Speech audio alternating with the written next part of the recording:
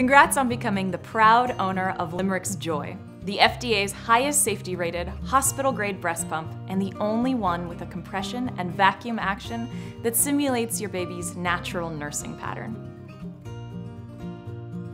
Before you get started, make sure to clean anything that will come in contact with your milk. Make sure to wash your hands thoroughly with soap and water before handling the newly sanitized parts. Everything else can be wiped down with a good antibacterial detergent. No need to sanitize the filter and tubing since it doesn't come in contact with your milk. Okay, let's begin. Press down on the cycle speed button to turn on your pump.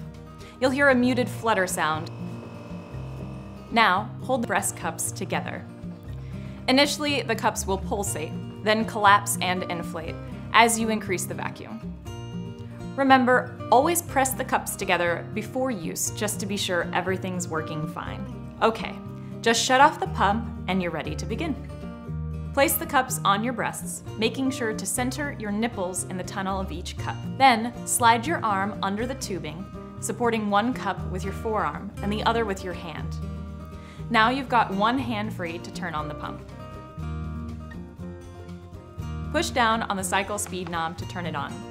You should begin to feel a very gentle, flutter-like sensation, similar to that of your baby nursing. The cycle speed knob also simulates the rhythm of your baby's sucking pattern. Its default and most comfortable setting is 30. It's best to leave it there until you settle on your preferred vacuum setting which may take you a few sessions to establish. If, after several uses, the cycle still feels too fast, just turn it down in small increments, as little movements can make a big difference. The goal is to match your baby's natural pattern. The vacuum strength knob controls the strength of both the suction and compression. For this knob, the lower the number, the weaker the suction, with 1 being the lowest and 80 being the highest. When the pump first starts, you'll feel a flutter-like sensation. The pump's most comfortable setting, meant to mimic your baby's flutter suck, which stimulates your letdown reflex. That's when the milk starts to flow from your breast. It may start with a few drops before you see a flow, and it may take a minute or two before you see milk. It's always better to wait a couple of minutes before increasing the level. But remember, just like with the cycle speed knob, when you do, it should always be in small increments. Most new moms prefer it between 14 and 35. Bottom line, it should be comfortable for you, so just adjust the knob slowly to what feels right. The digital display shows the number you chose for your cycle speed and vacuum strength. The cycle speed rarely changes since it's for fine tuning. You can, however, save the vacuum strength and cycle speed setting that works best for you. Just push the vacuum strength knob in for three to five seconds until you see saved preset on screen. Release the knob and you're all set. The next time you go to pump, just push the vacuum strength knob in and release.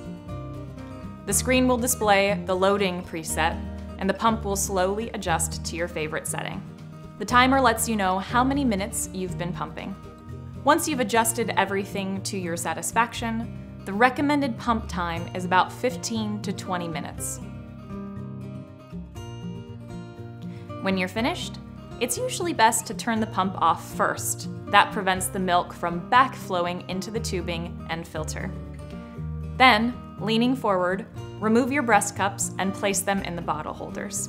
Now, disconnect the tubes and let them hang loose. You might see some condensation in the tubing. That's usually caused by a difference between your body's and the room's temperature. To dry out the tubes, just use your pump's drying mode. Turn the pump back on, then press down on the same knob for about 3 to 5 seconds until you see drying mode appear on the display. When it does, release the knob and follow the on-screen directions. Questions? We're here for you.